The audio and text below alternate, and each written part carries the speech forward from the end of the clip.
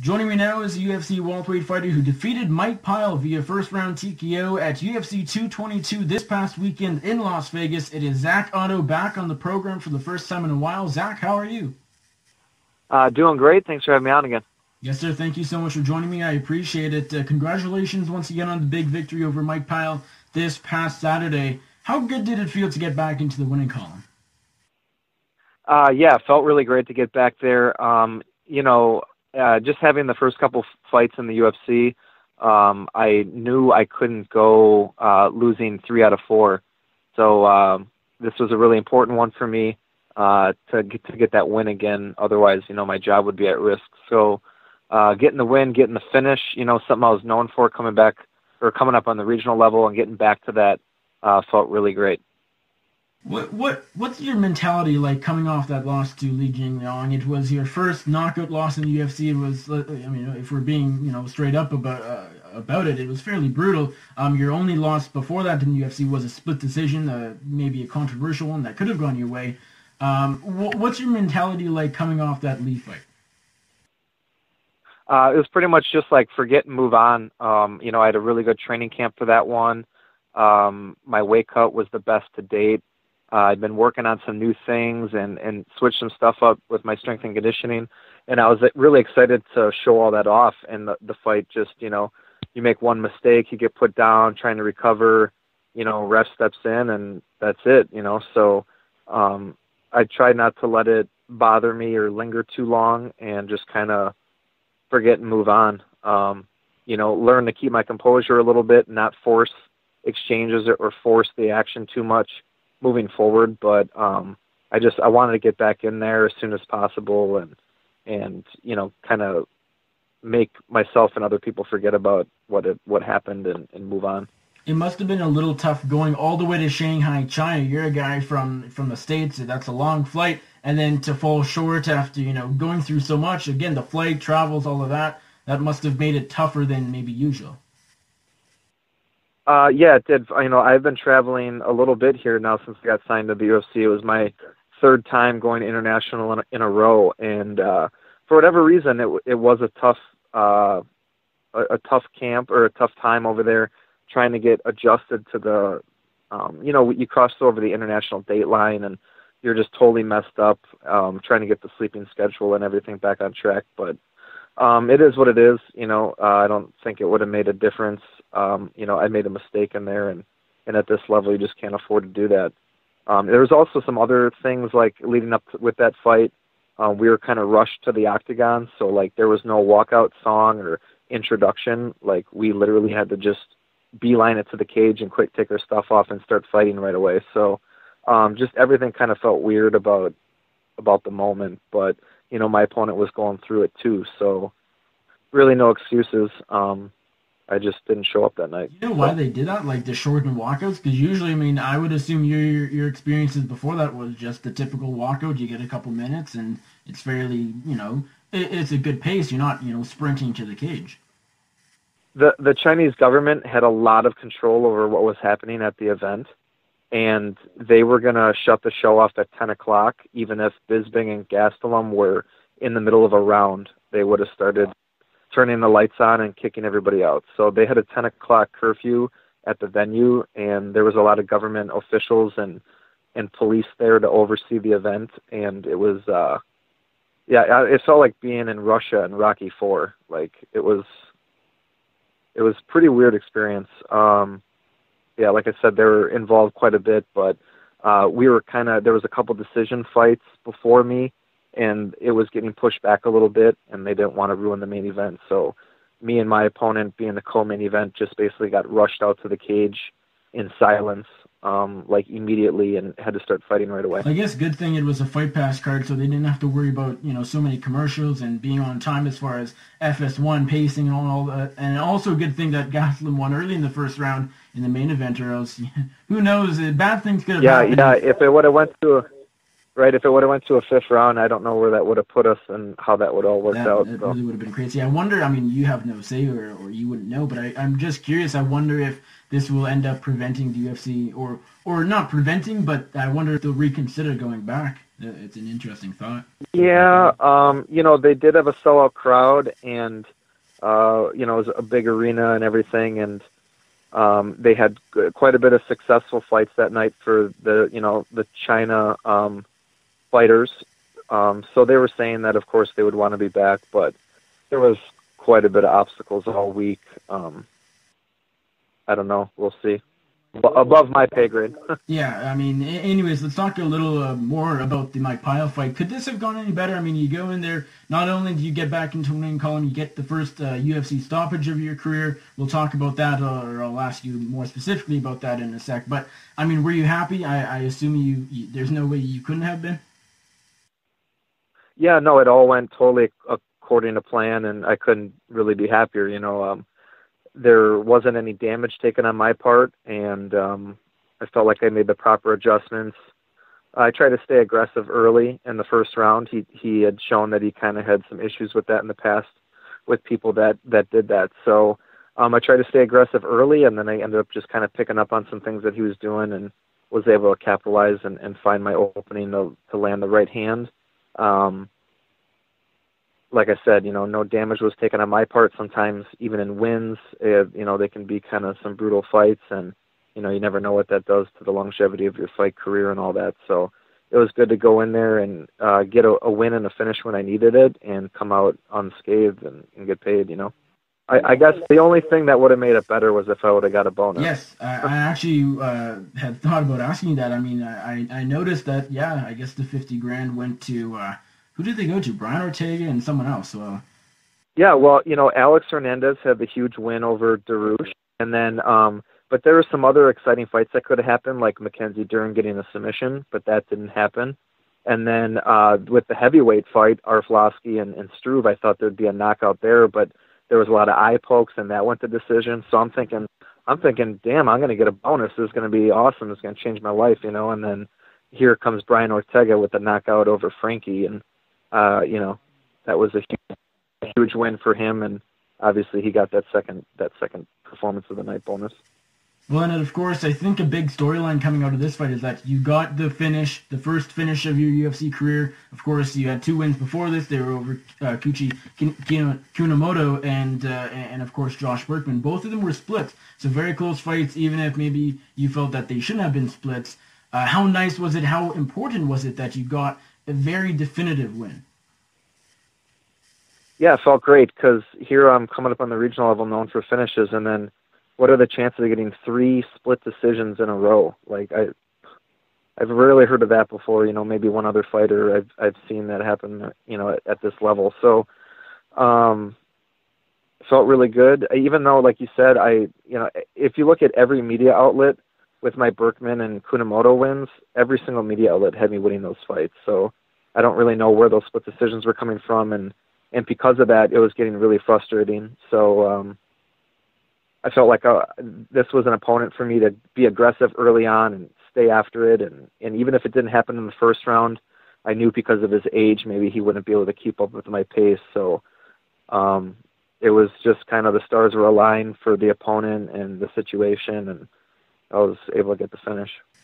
This fight was announced uh, less than a month ago, about a month ago now, but definitely a little less than a month before the fight. How how long did you actually have to prepare and train for this fight? Was it a bit short notice, or did sometimes the UFC just doesn't announce fights until a bit a bit later on for whatever reason? Have, had you known about it for a while before the official announcement? Uh, no, I had about three and a half weeks for this one. Um, there was about three and a half weeks out from the February 18th card in Austin, where there looked like there'd be an opening for Alex Morono, and I said yes. And then um, Josh Burkman ended up getting that fight, and I found out maybe a week after I said yes that actually I wasn't going to be getting it.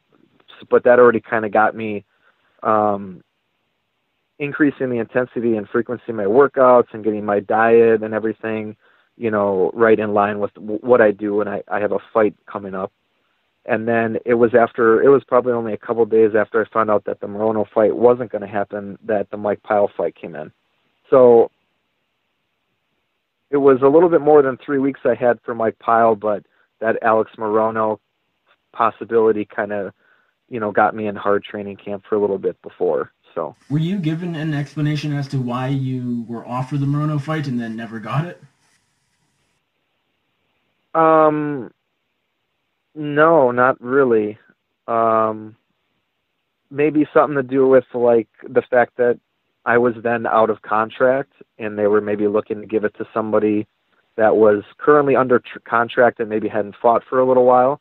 I, you know, uh, I had just fought in November, so uh, there's a lot of people signed at 170 pounds.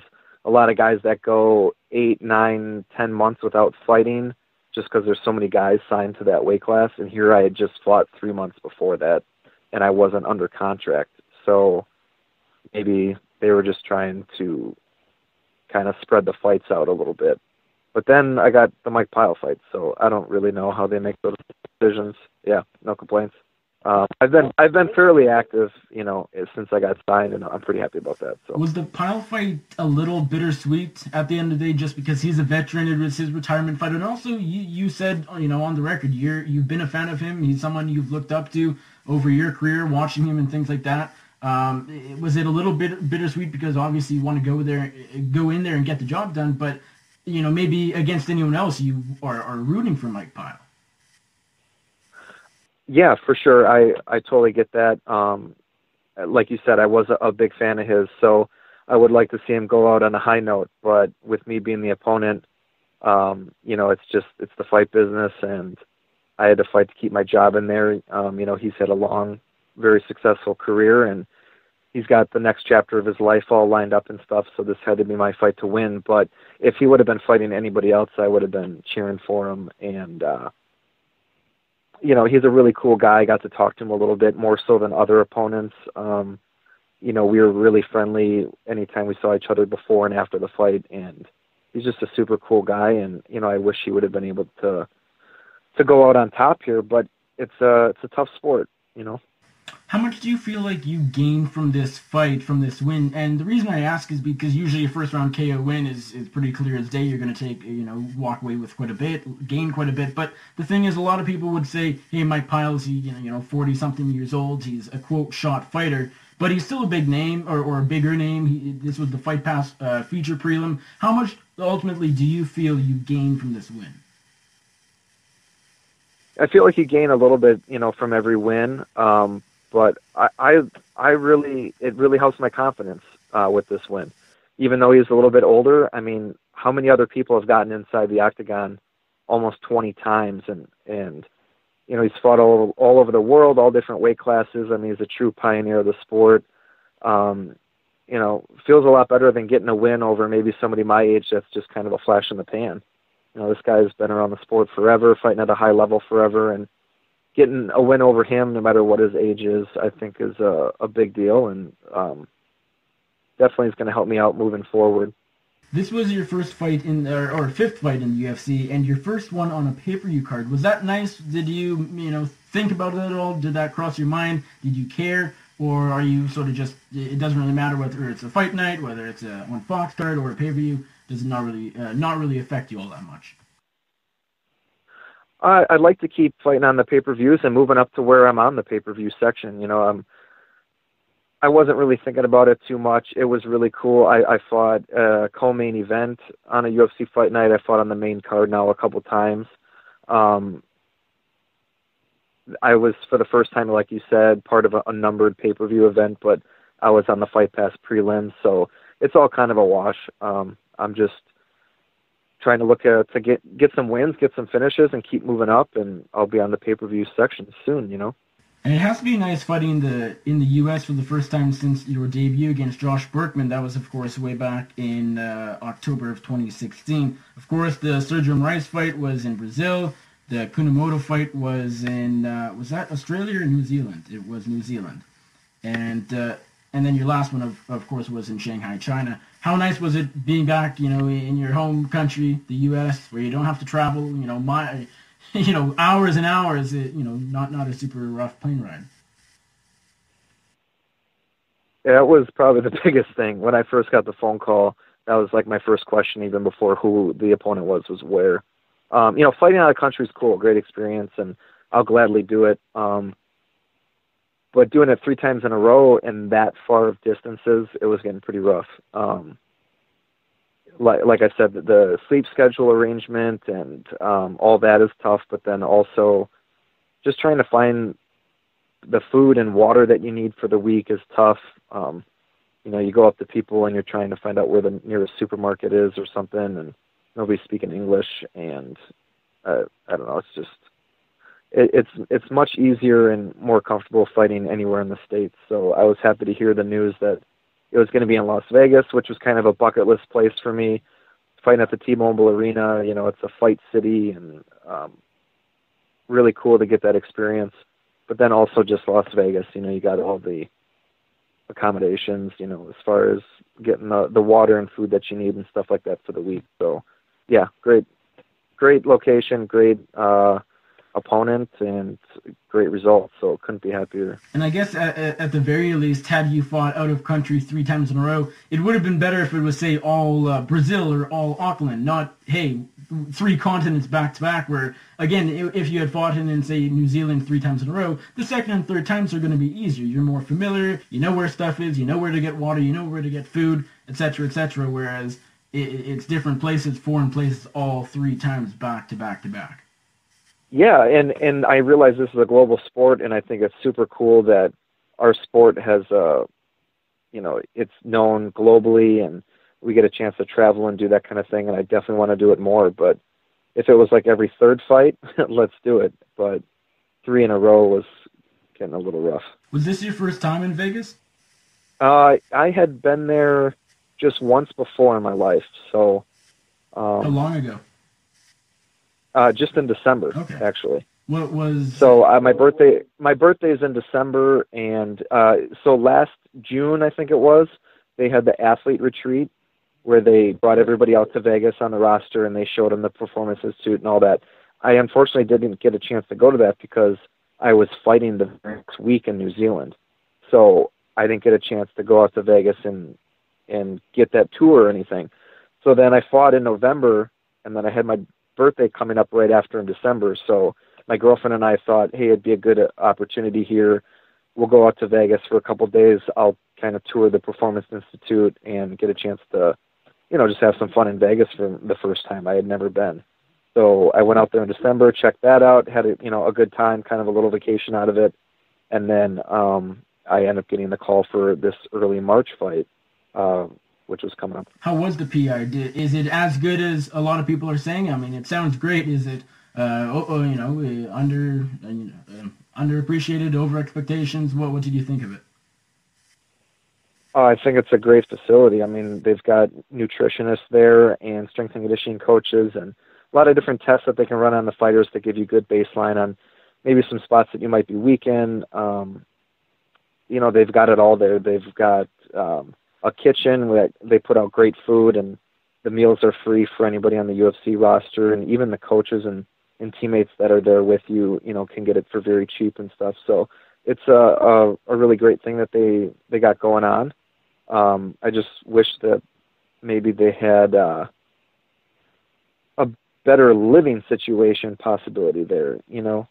Um, like I, I suppose if you want to go there for any length of time, you would either need to stay at a hotel, which could get expensive, or an Airbnb of some sort. Um, I don't know. I'd, I'd have to ask a, around a little bit more about how those fighters do it that are out there for longer periods of time. After the Pyle win last weekend, did you stick around in Vegas for a few extra days, or were right back home uh, the next day? Uh, we normally try to get back ASAP, but because it was Las Vegas, we kind of had two different flight times that we could have left, and one was really early the next day, or one was getting us back kind of late the next day. We decided to go with the late one, so we got a chance to stay out that night, kind of late. Um, when I fought in Brazil, we fought at like midnight or one in the morning, so pretty much by the time we got out of there, we just went to bed. In Las Vegas, I I was done by like 5 p.m. So my friends and family, you know, that's another thing when you're fighting out of country. Um, hard for friends and family to make it out and stuff. I had some a lot of people that made it out, um, from Milwaukee all the way to Las Vegas. So we were able to have some dinner, you know, have a drink or two, and gamble a little bit and have fun that night, and then didn't have to wake up for an early flight the next day. So awesome, good nice. to hear. Um, this, as you mentioned, was the first fight on your new four-fight deal with the UFC.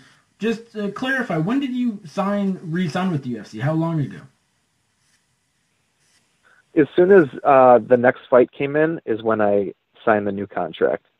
So I had, I had, I had signed a four-fight contract originally, that I I did the length of that contract, uh, ending with my last fight on that contract in November, and then um, I wasn't cut or anything like that, but I was just kind of in limbo, waiting for that next fight to come in. And then once the Mike Pyle fight came in, about three and a half weeks out, is when my new contract came were you a little concerned after the uh, Jing Liang Li fight? Just because we've seen in the past, uh, fairly recently actually, a lot of free agents aren't getting re-signed, even off one loss. Where was that a concern of yours? I mean, look at Stevie Ray. He got knocked out by Paul Felder last July. He just got re-signed very recently. He was in limbo. He would consider maybe retiring, moving on. He he didn't really know what was going on. Were you concerned about that? yeah, but a lot of those fighters, like even Rick Story and Stevie Ray and stuff, they had the opportunity to sign before their last fight on their contract and refused because they didn't like the the pay that they were offered. So they thought, okay, let me let me fight this last one, and then I'll go into free agency and kind of test the waters. But then they end up losing that last fight on their contract. So then, you know, they kind of almost, I don't know, weren't happy with what the UFC was offering them, and then kind of got into that situation. Um, mine wasn't like that. You know, if they would have offered me another contract after my third fight, I, I would have taken it. But I didn't get that offer. I had to fight my fourth fight, fourth fight on that contract, and the fight didn't go so well. So I, I was a little worried. But you got these other guys in my weight class that are like 0 and 2 and getting a third fight. You know, Brian Camozzi and stuff like that. Like, how are these guys 0 and 3 in the UFC? Getting finished in all three of their fights, and they're not, you know, cut as of right now. So I don't really know how they make those decisions. Um, I didn't feel like my job was in jeopardy, but I knew it would have been for sure in jeopardy if I would have lost to Mike Pyle. Right. So, and uh, with this being the first fight on your new contract, it's had to be a great uh, first impress- impression, so to speak. Obviously, you fought in the UFC before, but first impression for the new contract for the UFC brass for the matchmakers yeah, for sure. I feel like I can get the the ball rolling here and uh you know, go after another win, maybe get on that June card in Chicago, which is nice and close to home, and then uh if I can get it, you know, another one in 2018, that's kind of my goal. Go three and zero oh in 2018. Reese, I got another four fight contract, so I'd like to sign after my third one, um, off of three wins, and see see what number that's at. So your new new-ish contract, the one you just signed out before the Pyle fight, it's 18 and 18. So you took home uh, 36, uh, you know, uh, on, on, top disclosed, and then maybe an under the table bonus might be coming your way. Who knows? Um, are, are you happy with that, you know, increase? Yeah, I am. Um, uh, coming off of a, a loss, you're expected to just stay the same, and coming off of a win, you're expected to go up. And here I was. I finished out my first contract, ended with a bad loss. I would have been happy with anything they would have given me, even if you know, just as long as I had a job still with the UFC. So the fact that they bumped me up a little bit uh, going into my second contract was awesome, and you know, my they restructured the Reebok deal too. So I went up with Reebok um, as well, and got the win now. So I'm going up even more and things are good. Were you surprised that they didn't let you re-sign or, or renegotiate a deal before the Jing Liang fight? Yeah, I was. Um, again, I, I don't, I can't really say why. I think maybe because uh, my first two UFC fights, I was dealing with Joe Silva, and then Joe retired, and then I was dealing with Sean Shelby, and maybe he had, he just only really uh, was familiar with me with that that last fight, which was uh, Kunimoto in, in New Zealand, and um, that's the only thing I can really uh, think about uh, why I wasn't offered a contract earlier. But I'm not I'm not really sure. Fair enough. Well, Zak, uh, my last question for you: What is next? You you took literally zero damage against Mike Pyle last uh, Saturday. When do you want to get back in there real quick? I know you mentioned you want, uh, I think it was three more wins this year. Um, what what when are you looking to get back in there, and do you have any sort of opponent in mind? I'd like to get back in there eh, sometime this summer. Um, you know, I do like to evolve and, and work on some things and get better in between fights, and then when I find out I have a fight, just kind of polish it up and go in there with you know what's my bread and butter. So now is the time to to put new new tools in the toolbox, and I do like to take that time to do that. So um, June would probably be the earliest I'd want to get in there, and there is that Chicago card in June. That would be great if that worked out. Otherwise, um, they got to get a card to Milwaukee soon. You know, uh, we've got a lot of fighters out of Milwaukee on the UFC roster, and they like to usually tie in with Harley Davidson, and Harley Davidson has their big 115th anniversary coming up uh, end of August, early September. So hopefully they can they can get something going um, around town, and that would be awesome. As far as opponent, um, I do really want that Alex Morono fight. It came in uh, for February, and I really like the matchup. I think on paper it makes sense. Um, we both have very similar records in the UFC, coming off of some first round finishes over older vets. Um, he fought for Legacy coming up, and you know won the title there. And I was fighting for Legacy around that time, and I thought that maybe we'd be seeing each other before we even got to the UFC. And then you know he got called up, and I got called up. So uh, I've known about him for a while, and I, I like him as a fighter. I think it'd be fun, exciting fight, and makes the most on paper. So. Awesome, Zak. Appreciate the time as always. Before I let you go, remind my audience where they can find you on social media and if there's anybody you'd like to thank or give a shout out to, the floor is yours. Yeah, you guys can find me on social media on Facebook or Instagram just under my name, Zak Ottow. And then I'm on Twitter at the Barbarian MMA. And just want to throw a big thank you shout out to Combat Corner. Um, I know a lot of people in the MMA world are very familiar with their gear and, and things. Uh, they're they're a business right out of Milwaukee I know the owner very well, and uh, you know they're making a a global empire for a reason. They got the best stuff, and and they're a great group of guys. So, Combat Corner.